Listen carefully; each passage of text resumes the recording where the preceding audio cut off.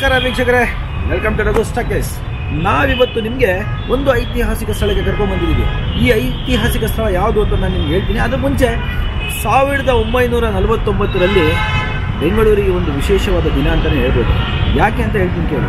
ಸಾವಿರದ ಒಂಬೈನೂರ ನಲವತ್ತೊಂಬತ್ತರಲ್ಲಿ ನಮ್ಮ ಜಯಚಾಮರಾಜ ಒಡೆಯರವರ ಒಂಬತ್ತನೇ ಒಂದು ಪಟ್ಟಾಭಿಷೇಕ ಆಗುತ್ತೆ. ಆದರೆ ಅವರಿಗೆ ಹೇಗೆ ಅಂದರೆ ಅವರ ಒಂದು ಪಟ್ಟಾಭಿಷೇಕದ ದಿನದಂದು ಏನಾದರೂ ಒಂದು ವಿಶೇಷತೆಯನ್ನು ಈ ಸಮಾಜಕ್ಕೆ ಕೊಡಬೇಕು ಅನ್ನೋದು ಅವ್ರದ್ದೊಂದು ಒಂದು ಇದಾಗಿತ್ತು, ಆಶಯ ಆಗಿತ್ತು.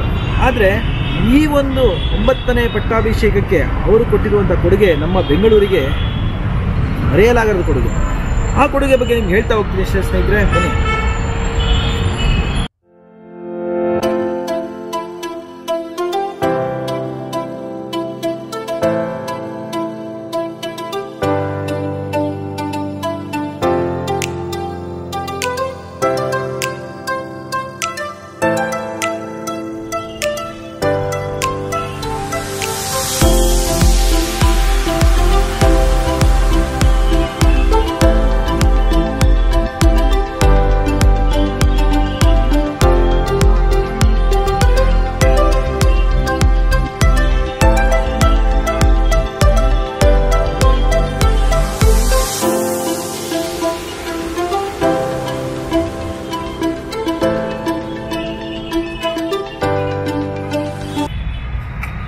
ವೀಕ್ಷಕರೇ, ಸಾವಿರದ ಒಂಬೈನೂರ ನಲವತ್ತೊಂಬತ್ತರಲ್ಲಿ ಜೂನ್ ಹತ್ತರಂದು ಇದೇ ಒಂದು ಜಾಗದಲ್ಲಿ ಒಂದು ಟೌನ್ಶಿಪ್ಗೆ ಶಂಕುಸ್ಥಾಪನೆ ನಡೆಯುತ್ತೆ.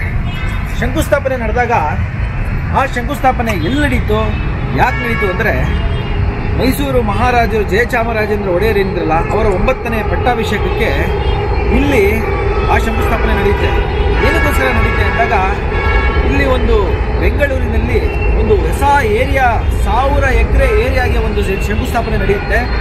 ಅದರಲ್ಲಿ ಐನೂರು ಎಕರೆ ಇಂಡಸ್ಟ್ರಿಯಲ್ಗೆ ಟೌನ್ಶಿಪ್ಗೆ ಅಂತ ಬಿಡ್ತಾರೆ. ಇನ್ನು ಐನೂರು ಎಕರೆ ರೆಸಿಡೆನ್ಷಿಯಲ್ ಟೌನ್ಶಿಪ್ ಆಗುತ್ತೆ ಆ ಒಂದು ಡೆವಲಪ್ಮೆಂಟ್ಗೆ ಕಾರಣ ನಮ್ಮ ಜಯಚಾಮರಾಜೇಂದ್ರ ಒಡೆಯರ್ ಆದರೆ, ಇದಕ್ಕೊಂದು ಹೆಸರು ಬರುತ್ತೆ.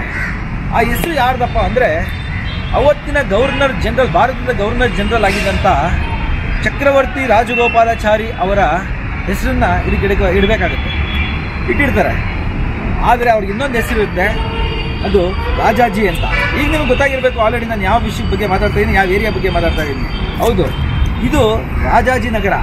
ಈ ರಾಜಾಜಿ ನಗರದ ಸ ಶಂಕುಸ್ಥಾಪನೆ ಆಗಿದ್ದು ಸಾವಿರದ ಒಂಬೈನೂರ ನಲವತ್ತೊಂಬತ್ತು ಜಯಚಾಮರಾಜೇಂದ್ರ ಒಡೆಯರವರು ಒಂಬತ್ತನೇ ಪಟ್ಟಾಭಿಷೇಕಕ್ಕೆ ಈ ಒಂದು ಶಂಕುಸ್ಥಾಪನೆ ಮಾಡಿ, ಇದಕ್ಕೆ ಸಾಕ್ಷಿಯಾಗಿ ನೋಡಿ ಈ ಒಂದು ಬೋರ್ಡು ಹಾಗೂ ಈ ಕಂಬವನ್ನು ಇಟ್ಟಿರ್ತಾರೆ.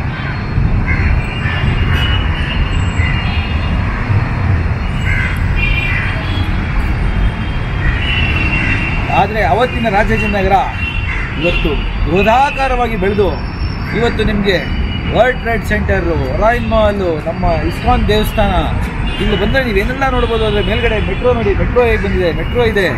ಮತ್ತು ಈ ಕಡೆ ಬಂದಾದರೆ ನಿಮಗೆ ಹಲವಾರು ಡೆವಲಪ್ಮೆಂಟ್ಸ್ ಆಗಿದೆ. ರಾಜಾಜಿನಗರ ಇಡೀ ಇವತ್ತು ನೀವು ದೇಶದಲ್ಲಿ ಎಲ್ಲೇ ಹೋಗಿ ಬೆಂಗಳೂರಲ್ಲಿ ರಾಜಾಜಿನಗರದ ಪ್ರತಿಯೊಬ್ಬರಿಗೂ ಗೊತ್ತು.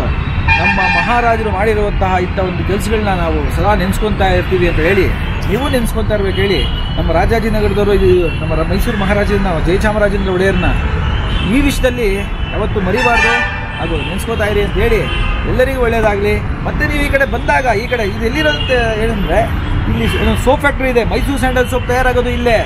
ಈ ಮೈಸೂರು ಸ್ಯಾಂಡಲ್ ಸೋಪ್ ತಯಾರಾಗೋದು ಈ ಸೋಪ್ ಫ್ಯಾಕ್ಟ್ರಿ. ಈ ಸೋಪ್ ಫ್ಯಾಕ್ಟ್ರಿಯಲ್ಲಿ ಒಂದು ಸೋಪ್ ಫ್ಯಾಕ್ಟ್ರಿ ಸರ್ಕಲ್ ಅಂತಲೇ ಕರೀತಾರೆ. ಈ ಸರ್ಕಲಲ್ಲಿ ಈ ಒಂದು ನೀವು ವೃದಾಕಾರದ ಕಂಬವನ್ನು ನೋಡ್ಬೋದು. ಇಲ್ಲಿ ಅದು ಕಂಪ್ಲೀಟ್ ಆದ ಇನ್ಫಾರ್ಮೇಷನ್ ಇದೆ. ಆ ಇನ್ಫಾರ್ಮೇಷನ್ ನಾನು ನಿಮಗೆ ಶೇರ್ ಮಾಡ್ತೀನಿ. ನೀವೇನಾದರೂ ಈ ಕಡೆ ಓರಿಯನ್ ಮಾಲು, ಈ ಕಡೆ ಸೋಪ್ ಫ್ಯಾಕ್ಟ್ರಿ, ಮತ್ತು ಈ ಕಡೆ ಡಬ್ಲ್ಯೂ ಟಿ ಸಿಗೆ ಯಶವಂತಪುರ ಕಡೆ ಹೋಗ್ಬೇಕಾದ್ರೆ ಈ ಕಡೆ ಬಂದಾಗ ದಯವಿಟ್ಟು ಇದನ್ನು ನೋಡಿ ನೋಡದೆ ಹೋಗ್ಬಿಡಿ. ಯಾಕಂದರೆ ಅಂಥ ವಿಶೇಷವಾದ ಈ ಒಂದು ಸ್ತಂಭ ಇದೆಯಲ್ಲ ನಮಗೆ ತುಂಬ ಇನ್ಫಾರ್ಮೇಷನ್ ಕೊಡುತ್ತೆ.